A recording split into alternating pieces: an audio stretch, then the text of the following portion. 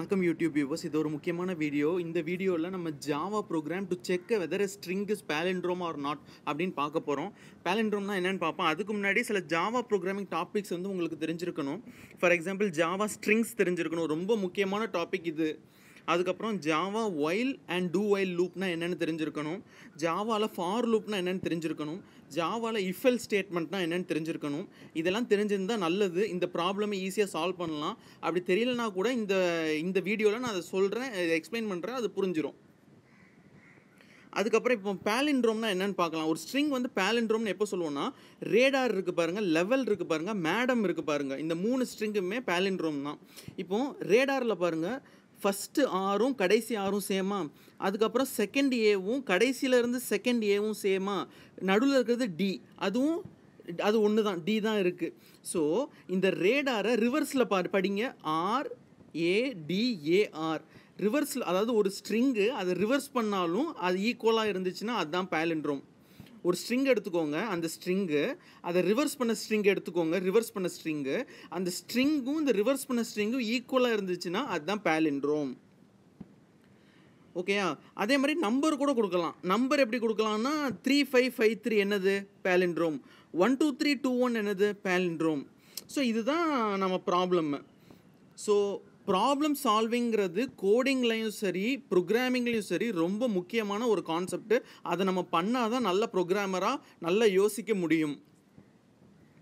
அதுக்கப்புறம் இது என்னன்னு பார்ப்போம். இந்த ப்ரோக்ராம்க்கே போயிடலாம் இந்த இதில் நான் ஜாவா சொல்லித்தர போகிறது இல்லை ஜாவா உங்களுக்கு படிங்க. ஜாவா படிங்க. நல்லது தான் தெரிஞ்சுக்கிறது நல்லது தான் இதில் நம்ம பேலண்ட்ரம் ப்ராப்ளமை மட்டும் எப்படி லாஜிக் மூலமாக சால்வ் பண்ணுறதுங்கிறத பற்றி மட்டும்தான் பார்க்க போகிறோம் ஓகேயா இப்போ இங்கே பாருங்கள் இந்த இது பாருங்கள் ஸ்ட்ரிங் எஸ்டிஆர் ஸ்ட்ரிங்குன்னு டிக்ளேர் பண்ணிடுறாங்க. எஸ்டிஆருங்கிறது வேரியபிள் அதை வந்து ஸ்ட்ரிங்குன்னு டிக்ளேர் பண்ணிடுறாங்க.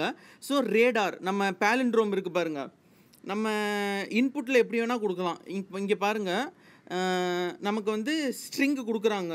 ரேடாருங்கிற ஸ்ட்ரிங்கு கொடுக்குறாங்க. இந்த டெக்ஸ்ட்டில் இருக்குல்ல ஸ்க்ரீனில் இருக்குல்ல இங்கே ஃபஸ்ட்டு காமிக்கிறேன் பாருங்கள் அந்த ரேடார் அதில் அந்த ஸ்ட்ரிங்கை கொடுக்குறாங்க. அதை நம்ம ஸ்டோர் பண்ணி வச்சுக்கிறோம் எஸ்டிஆரில் அதுக்கப்புறம் ரிவர்ஸ் ஸ்ட்ரிங்னு ஒரு வேரியபிளை வச்சு அதை இனிஷியலைஸ் பண்ணிக்கிறோம். எம்டி ஸ்ட்ரிங்கை இனிஷியலைஸ் பண்ணிக்கிறோம். ஓகேயா இன்னொன்று எஸ்டிஆரில் வந்து கேபிட்டல் ஆர் கொடுத்துருக்காங்க பாருங்கள் அதெல்லாம் சின்ன சின்ன விஷயம். அதை நான் ஃப்யூச்சரில் சொல்கிறேன் உங்களுக்கு இந்த வீடியோ முடிவில் சொல்கிறேன் உங்களுக்கு யூஸ்ஃபுல்லாக இருக்கும். அதுக்கப்புறம் என்ன பண்ணுறாங்க ஒரு இன்டீஜர் ஸ்ட்ரிங் லென்த்துன்னு பண்ணி எஸ்டிஆர் அதாவது எஸ்டிஆருங்கிறது ஒரு ஸ்ட்ரிங்கு ஸ்ட்ரிங்கில் நம்ம லென்த்து டைரெக்டாக ஃபங்க்ஷன் மூலமாக எடுத்துக்கலாம். ஸோ எஸ்டிஆர் டாட் லென்த் வந்து என்ன வரும்? ஆர்ஏடிஏஆரில் மொத்தம் எத்தனை இருக்குது ஃபைவ் அப்போ எஸ்டிஆர் லென்த் வந்து ஃபைவ்னு இன்டீஜரில் அசைன் ஆயிரும். அதுக்கப்புறம் என்ன பண்ணுறாங்க ஃபார் லூப் பாருங்கள்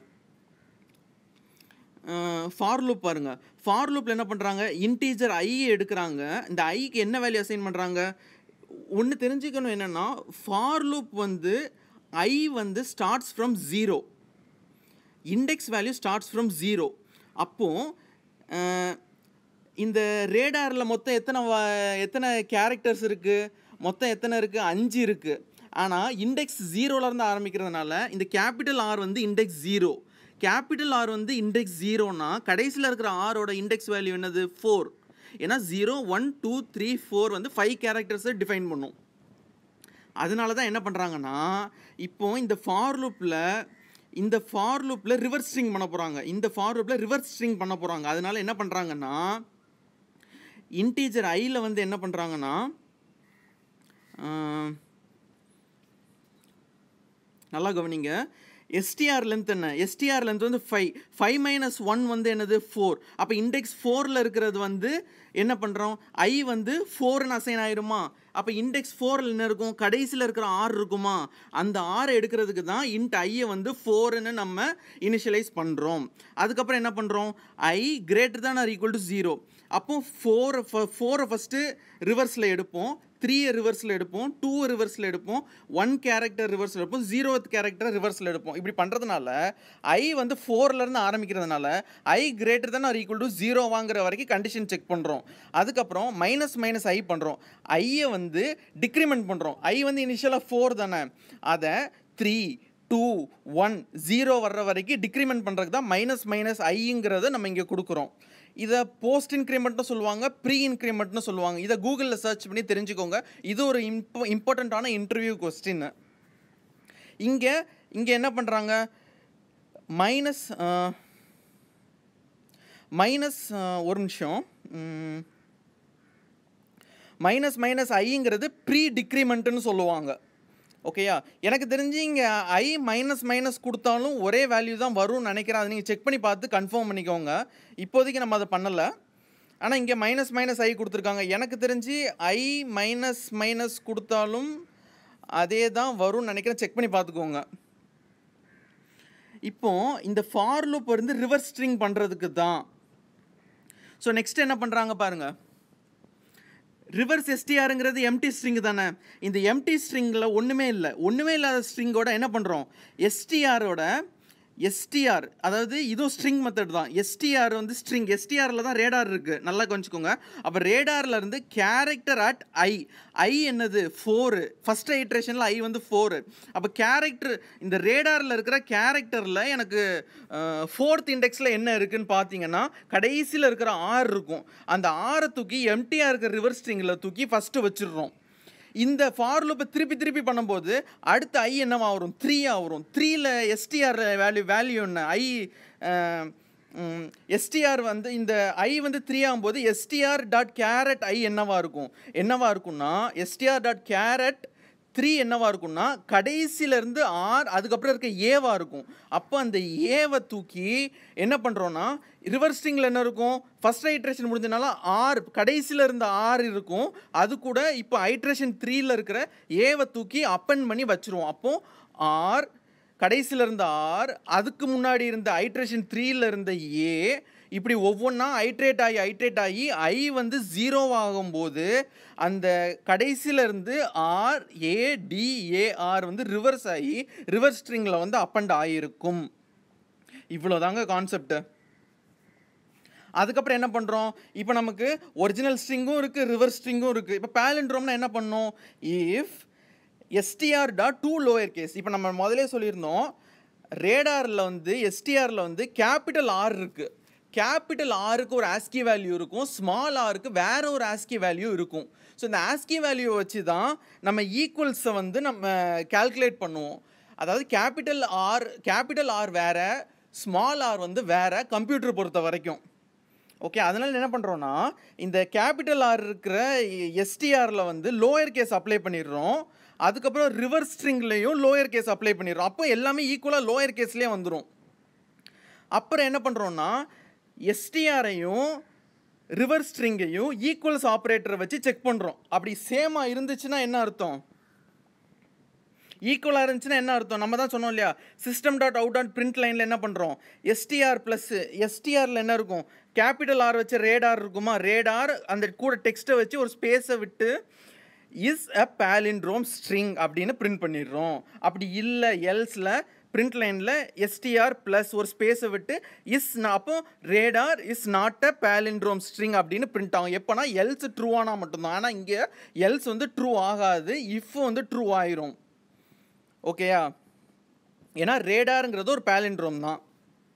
ஸோ இவ்வளோ தான் ஃப்ரெண்ட்ஸ் கான்செப்ட் நம்ம கோடே எடுத்துகிட்டோம் இங்கே பாருங்கள் அப்போ அவுட்புட் என்ன வரும் பாருங்கள் output radar is a palindrome ஸ்ட்ரிங்னு அழகாக வந்துருச்சா? ஸோ அவ்வளோதான் இதை தான் இங்கே எக்ஸ்பிளைன் பண்ணியிருக்காங்க. ஸோ இது புரிஞ்சிச்சுன்னா எனக்கு சந்தோஷம். அதுக்கப்புறம் Java program to check palindrome number இதுக்கு தனி லாஜிக் நம்பருக்கு தனி லாஜிக் கேரக்டருக்கு தனி லாஜிக் ஸ்ட்ரிங்குக்கு அதான் கேரக்டர் ஸ்ட்ரிங் எல்லாம் ஸ்ட்ரிங்குங்கிறது குரூப் ஆஃப் கேரக்டர்ஸ் தான் ஸ்ட்ரிங்கு ஸோ இப்போ நம்ம பார்க்கலாம். இப்போ இந்த இதுவும் ஈஸி தான். இங்கே பாருங்கள் நம்மன்னு வச்சுக்கிறாங்க. Into num three five five three reversed num அதை இனிஷியலாக ஜீரோ வச்சுக்கிறாங்க. ரிமைண்டர்னு ஒரு வேரியபிள் வச்சுருக்காங்க. அது எதுக்கு நம்ம போக போக தெரியும். அதுக்கப்புறம் store the number to the original number store the number to original number அப்போ நம்மள தான் நம்ம டேட்டா இருக்குது அந்த டேட்டாவை தூக்கி ஒரிஜினல் நம்மளாக வச்சிடுறோம். இன்டீஜரெல்லாம் வச்சுடுறோம் வச்சிடுறோம். அதுக்கப்புறம் get the reverse of original num அதே தான் சேம் லாஜிக் தான். சேம் லாஜிக்னு சொல்ல முடியாது. சேம் கான்செப்ட் லாஜிக் வேறு. அப்போ கெட் த ரிவர்ஸ் இங்கே ரிவர்ஸ் பண்ணுறோம் ஸ்டோர் இட் இன் வேரியபிள் இங்கே பாருங்கள் பியூட்டி பாருங்கள் வைல் நம் நாட் ஈக்குவல் டு ஜீரோ அது முதல்ல தெரியும். இது ரொம்ப கவ கவலைப்படாதீங்க. வைல் நம் நாட் ஈக்குவல் டு ஜீரோ நம் வந்து ஜீரோவா ஜீரோவாக இல்லாத வரைக்கும் நெகட்டிவாகவும் ஜீரோவாகவும் இல்லாத வரைக்கும் இந்த ஒயில் லூப் வந்து ரன் ஆகிக்கிட்டே இருக்க போகுது. அப்போ ஏதோ பண்ண போகிறாங்க உள்ளே. அதை நம்ம தெரிஞ்சுக்கணும். அப்போ என்ன பண்ணுறாங்க ஃபஸ்ட்டு ரிமைண்டர் எடுக்கிறாங்க. ஏன் ரிமைண்டர் எடுக்கிறாங்கன்னா த்ரீ ஃபைவ் ஃபைவ் த்ரீல இருக்கிற கடைசி த்ரீ தான் நமக்கு ஃபஸ்ட்டு தேவை. ஓகேயா அதுதான் ரிவர்ஸ்டு நம்மள ரிவர்ஸ்டு நம்மள ஃபஸ்ட்டு நம்பராக இருக்க போகுது. ஓகேயா அந்த கடைசி த்ரீ எடுக்கிறதுக்காக என்ன பண்ணுறாங்கன்னா நம்மள தான் நம்ம டேட்டா இருக்குது அதை மாடுலோ டென் மாடுலோங்கிறது ரிமைண்டரை கொடுக்குற ஒரு ஃபங்க்ஷன் அப்போ நம் மாடு நம் மாடுலோ டென்னா நம்ம டென்னால் டிவைட் பண்ணிங்கன்னா என்ன ரிமைண்டர் வரும்? அப்போ த்ரீ ஃபைவ் ஃபைவ் த்ரீயை டென்னால் டிவைட் பண்ணிங்க three fifty five point three வரும். அப்போது அந்த ரிமைண்டர் வந்து த்ரீ பாயிண்ட் த்ரீங்கிறது த்ரீ தான் ரிமைண்டர் அந்த ரிமைண்டர் தூக்கி ரிமைண்டரில் போட்டுடுறோம். ரிமைண்டர் நீங்கள் ஒரு வேரியபிள் இருக்கு பாருங்க அதில் போட்டுடுறோம். அதுக்கப்புறம் என்ன பண்ணுறோம் ரிவர்ஸ்டு சம் என்னது? ரிவர்ஸ்டு சம் வந்து ஜீரோவில் இருக்குது அப்போது ரிவர்ஸ்டு சம் வந்து reversed sum zero into ten என்னது? ஜீரோ இன்ட்டு டென் வந்து இந்த டென் எதுக்கு பண்ணுறோன்னா இந்த ரிவர்ஸ்டு இந்த ரிவர்ஸ்டு நம் இன்ட்டு டென் எதுக்கு பண்ணுறோங்கிறத உங்களுக்கு அடுத்த இட்ரேஷனில் புரியும். அதை நான் அடுத்த இட்ரேஷனில் சொல்கிறேன் இப்போ ரிவர்ஸ்டு நம் என்ன? ரிவர்ஸ்டு நம் வந்து ஜீரோ ஜீரோ இன்ட்டு டென் என்னது? ஜீரோ ஜீரோ ப்ளஸ் ரிமைண்டர் என்ன? ரிமைண்டர் என்ன வரும்? கடைசி என்ன பார்த்தோம்? த்ரீ தானே பார்த்தோம். அப்போது ஜீரோ ப்ளஸ் த்ரீ வந்து த்ரீ அப்போ ரிவர்ஸ்டு நம்பரில் ஃபஸ்ட்டு இருக்கிற வேல்யூ வந்து என்னவா இருக்கும்? த்ரீன்னு வந்துடும் நமக்கு தேவையான இதை அச்சீவ் பண்ணிட்டோமா? ரிவர்ஸ் பண்ணிட்டோம். ஃபஸ்ட்டு இந்த ஒயில் லூப்பில் ஃபஸ்ட்டு ஐட்ரேஷனில் ரிவர்ஸ் பண்ண டேட்டா வந்து த்ரீ அதுக்கப்புறம் என்ன பண்ணுறோன்னா இந்த நம்பர் இருக்குது பாருங்கள் இந்த நம்பரை இப்போ நம்ம த்ரீ எடுத்துட்டோம். த்ரீ எடுத்ததுக்கப்புறம் த்ரீ ஃபைவ் ஃபைவ் மட்டும்தான் இருக்குது ஓகேயா அப்போ த்ரீ ஃபைவ் ஃபைவை மட்டும் ப்ராசஸ் பண்ணால் போதும் இல்லையா? அப்போ என்ன பண்ணுறோன்னா num equal to num by ten என்ன பண்ணுறோம் த்ரீ ஃபைவ் ஃபைவ் மட்டும் போதும். அதனால் நம்ம வந்து பை டென் பண்ணி த்ரீ ஃபைவ் ஃபைவாக மாற்றுறோம் அவ்வளோதாங்க லாஜிக்கு இப்போ அடுத்த ஐட்ரேஷனில் பாருங்கள் இப்போ நம் வேல்யூ என்ன? த்ரீ ஃபைவ் ஃபைவ் ஓகே இப்போ ரிமைண்டர் என்ன? நல்லா கவனிங்க. ரிமைண்டர் என்ன? ஃபைவ் வெரி குட் அதுக்கப்புறம் ரிவர்ஸ்டு நம்மள என்ன இருக்குது ஏற்கனவே த்ரீ இருக்கா? அப்போ த்ரீ இன்ட்டு டென் என்ன வரும்? அந்த ஷிஃப்ட் பண்ணுறோம் த்ரீன்னு இருக்கிறத தேர்ட்டியாக மாற்றுறோம் ஒரு எலமெண்ட் ஷிஃப்ட் பண்ணி அதுக்கப்புறம் ஆட் பண்ணுறோம் ரிமைண்டரை இதுதான் இந்த பியூட்டி இது நல்லா ப்ராக்டிஸ் பண்ணி பார்த்தீங்கன்னா புரியும். இப்போ நான் இந்த எக்ஸாம்பிளுக்கு சொல்லணும்னா ரிவர்ஸ் நம்ம வந்து கடைசி வந்து த்ரீ இருக்கும். அப்போ த்ரீ இன்ட்டு டென் என்ன வரும்? தேர்ட்டி ஆயிருமா? தேர்ட்டி ப்ளஸ் இப்போ ரிமைண்டர் கடைசியாக என்ன பார்த்தோம்? ஃபைவ் அப்போ தேர்ட்டி ப்ளஸ் ஃபைவ் என்னது? ரிவர்ஸ் நம்ம வந்து தேர்ட்டி ஃபைவ் ஆயிரும். அப்போ நல்லா கவனிச்சிங்கன்னா கடைசியிலேருந்து வாங்க. த்ரீ ஃபைவ் தேர்ட்டி ஃபைவ் வருதா? ரிவர்ஸ் பண்ணுறோமா ஒவ்வொரு ஐட்ரேஷன்லையும் ரிவர்ஸ் பண்ணுறோமா அப்போ அடுத்த ஐட்ரேஷனில் three five three five into ten எவ்வளோ? த்ரீ ஃபிஃப்டி ப்ளஸ் ரிமைண்டர் வந்து ஃபைவ் அப்போது த்ரீ ஃபிஃப்டி ஃபைவ் வரும் ஃபைனலாக இந்த ஒயில் லூப் ஃபுல்லும் முடியும் போது த்ரீ கடைசியிலேருந்து நம்மளை கடைசியிலேருந்து த்ரீ ஃபைவ் ஃபைவ் த்ரீன்னு ரிவர்ஸ் பண்ண நம்பர் வந்து நமக்கு கிடைச்சிரும். இவ்வளோதாங்க கான்செப்ட் அதுக்கப்புறம் நம்ம ஏற்கனவே பண்ண மாதிரி num equal to num by ten எதுக்கு பண்ணுறோம் ஒவ்வொரு ஐட்ரேஷன்லேயும் கடைசி நம்பரை கடைசி நம்பரை எடுக்கிறதுனால ரிமைண்டர் எடுக்கிறதுனால அந்த நம்ம வந்து பை டென் பண்ணி அந்த நம்ம வந்து ஈக்குவல் டு இல்லை நெகட்டிவில் ஜீரோவாக கொண்டு போகிற வரைக்கும் அதை நம்ம டிவிஷன் மூலமாக கட் பண்ணிக்கிட்டே வரோம் அந்த நம்பரை இது ஃபஸ்ட் டைம் பார்க்கும்போது இந்த ப்ரோக்ராம் வந்து புரிகிறது கொஞ்சம் கஷ்டம்தான். ஃபஸ்ட் டைம் பாருங்கள் ஒரு நாள் விட்டு இன்னொரு டைம் பாருங்கள் ஒரு வாரம் விட்டு இன்னொரு டைம் பாருங்கள் இதை பண்ணிட்டீங்கனாலே இந்த ப்ராப்ளம் உங்களுக்கு மறக்கவே மறக்காது. புரியலைன்னா எனக்கு கமெண்ட்டில் எனக்கு எந்த ஸ்டெப் புரியலைன்னு சொல்லுங்கள் அதை நான் கிளாரிஃபை பண்ணுறேன் இல்லை யாராவது உங்களுக்கு கிளாரிஃபை பண்ணுவாங்க. ஸோ இவ்வளோ தான் logic so logic first first நம்ம எழுதும்போது கொஞ்சம் யோசிக்கணும். புதுசாக நம்ம எழுதும்போது யோசிக்கணும். பட் இந்த மாதிரி ப்ராப்ளம்ஸ் நம்ம சால்வ் பண்ண சால்வ் பண்ண நிறைய விஷயம் தெரிய தெரிய லாஜிக் கொஞ்சம் கொஞ்சமாக நமக்கு பில்ட் ஆகிக்கிட்டு நேச்சுரலாகவே வர ஆரம்பிச்சிடும் அதுக்கப்புறம் என்ன பண்ணுறது பேலிண்ட்ரோம்னா என்ன பண்ணோம்? ஒரிஜினல் நம்பரும் ரிவர்ஸ் பண்ண நம்பரும் ஈக்குவலான்னு பார்க்குறோம். டபுள் ஈக்குவல் டு இன்டீஜராக இருக்கனால டபுள் ஈக்குவல் டு போட்டாலே போதும். ட்ரிபிள் ஈக்குவல் டூவும் போடுவாங்க. அது என்னங்கிறதையும் பார்த்துக்கோங்க. அப்போ ஒரிஜினல் நம்பர் என்னது? ஒரிஜினல் நம்பரை வந்து நம்ம வந்து ஒரிஜினல் நம்பர் கொடுத்துருக்கோமா? ரிவர்ஸ்டு நம்பரில் ரிவர்ஸ் பண்ண நம்பர் இருக்கா? அப்போ ஒரிஜினல் நம்பரும் ரிவர்ஸ் நம்பரும் சேமாக இருந்துச்சுன்னா is palindrome original num original number என்ன வரும்? த்ரீ ஃபைவ் ஃபைவ் த்ரீ தானே? நல்லா பாருங்கள் த்ரீ ஃபைவ் ஃபைவ் த்ரீ அப்போ three five five three space விட்டு இஸ் பேலிண்ட்ரோம்னு பிரிண்ட் ஆகும். எப்போனா ஈக்குவலாக இருந்துச்சுன்னா எல்ஸில் வந்துச்சுன்னா three five five three is not a பேலிண்ட்ரோம்னு வந்துடும் எல்ஸ் ஆனால் இந்த இடத்துல இஃப் தான் ட்ரூ ஆகும். அப்போது three five five three is palindrome தான் பிரிண்ட் ஆகும். அதுதான் இங்கே பண் அவுட்புட்டில் காட்டியிருக்காங்க. Three five five three is palindrome இதை தான் இங்கே எக்ஸ்பிளைன் பண்ணியிருக்காங்க. அவ்வளோதான் ஃப்ரெண்ட்ஸ் சூப்பராக ஒரு ப்ரோக்ராமிங் ப்ராப்ளமை வந்து நம்ம நம்ம பார்த்து புரிஞ்சு சால்வ் பண்ணி ஓரளவுக்கு கான்ஃபிடென்ட் ஆகிருக்கோம் ஸோ இந்த வீடியோ பிடிச்சிருந்துச்சுன்னா லைக் பண்ணுங்கள் உங்கள் ஃப்ரெண்ட்ஸுக்கு ஷேர் பண்ணுங்கள் மறக்காமல் சேனலுக்கு சப்ஸ்கிரைப் பண்ணுங்கள் கமெண்ட்டில் டவுட்ஸ் இருந்தால் இல்லை வேறு ஏதாவது வீடியோஸ் வேணும்னா அதை கமெண்ட்டில் தெரியப்படுத்துங்க. என் பேர் விஜய்கிரண். நான் கூடிய விரைவில் அடுத்த ஒரு நல்ல வீடியோவில் சந்திக்கிறேன். நன்றி வணக்கம்.